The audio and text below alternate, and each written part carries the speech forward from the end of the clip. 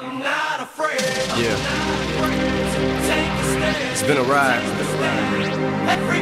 I guess I had to go to that place to get to this one. Now, some of you might still be in that place. If you're trying to get out, just follow me.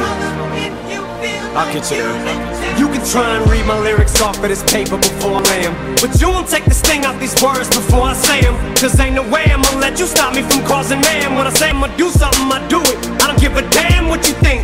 I'm doing this for me. So fuck the world, feed it beans. It's gas up thinks it's stopping me. I'ma be what I set out to be. Without a doubt, undoubtedly. And all those who look down on me, I'm tearing down your balcony. No ifs, fans, or buts, don't try to ask him why how can he. From infinite down to the last relapse album, he's still shitting whether he's on salary, paid until he bows